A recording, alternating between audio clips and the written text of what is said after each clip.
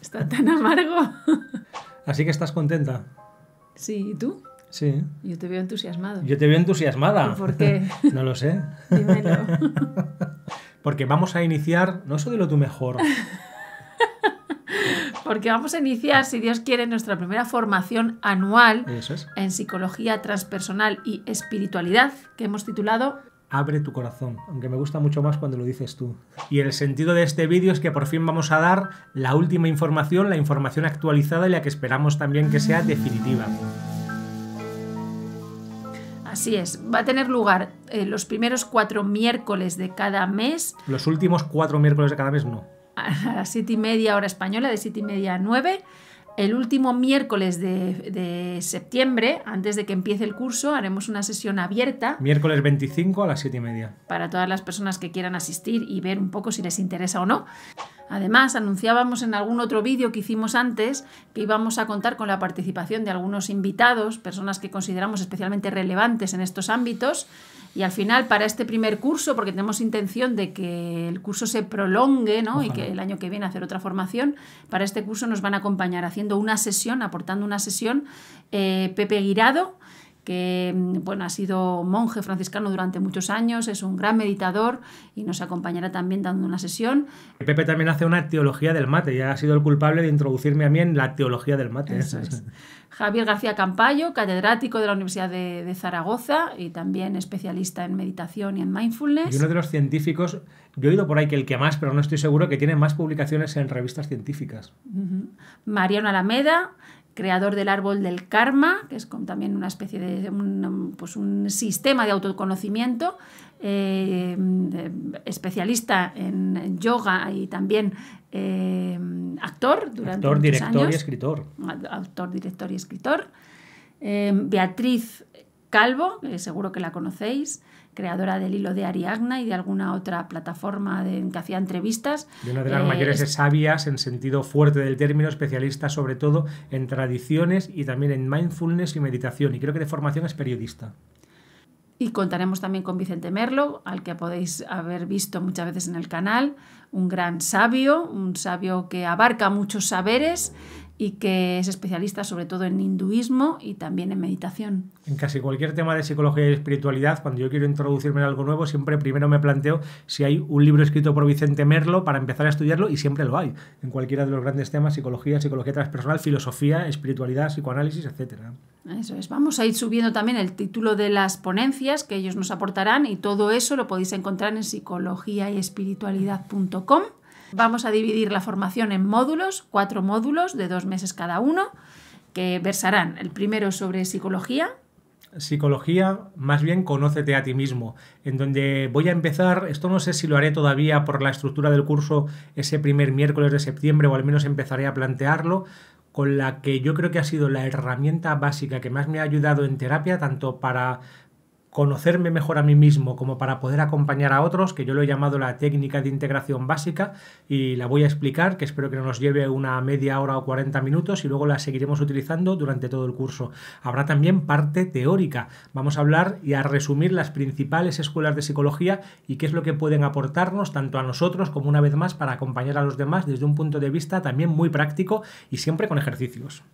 Eh, y también hablaremos de los diferentes niveles del alma, tanto en el sufismo como en la cábala, y de algunos otros aspectos. El segundo módulo, que versará sobre espiritualidad, eh, vamos, en él vamos a trabajar también muchas otras cosas, entre ellas pues, el camino espiritual propiamente, la apertura y el espejo. Vamos a hablar sobre la función que tienen de inspiración algunos de los grandes místicos y personajes sufíes. eh, espirituales de todas las épocas. Sufis espirituales o cosas.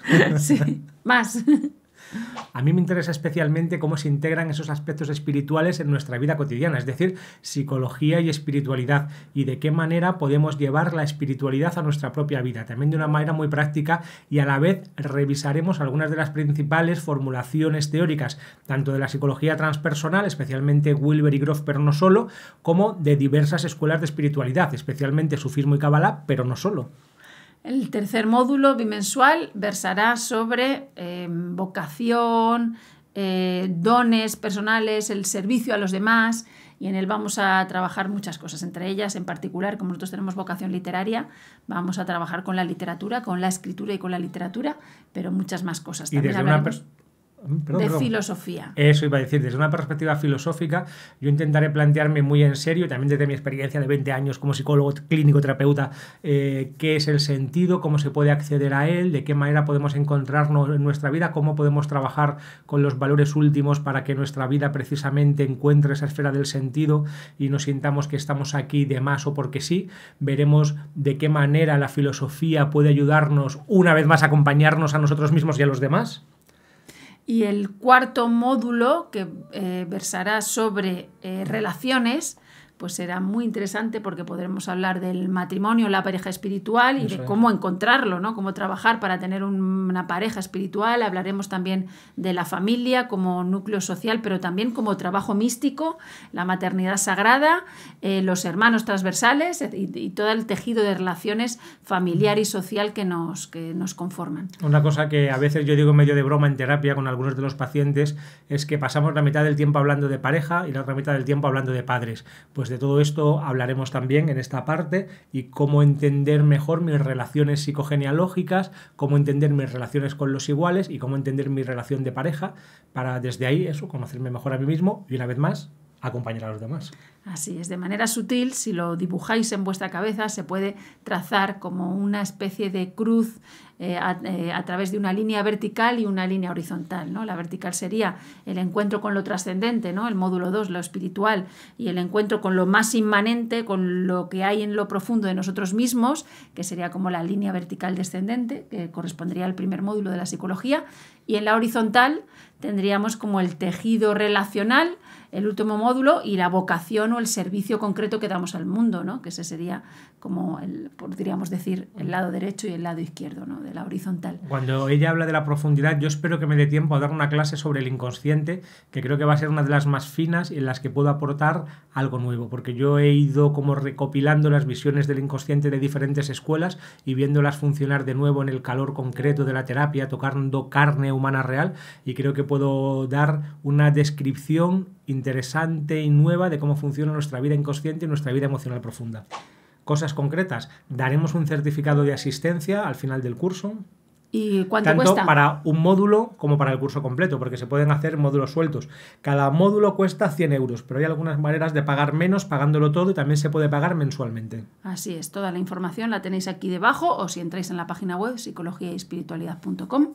¿Y qué más? Van a quedar, serán sesiones en directo, pero quedarán grabadas para que podáis volver a verlas siempre que queráis o por si acaso no habéis podido asistir en ese momento concreto.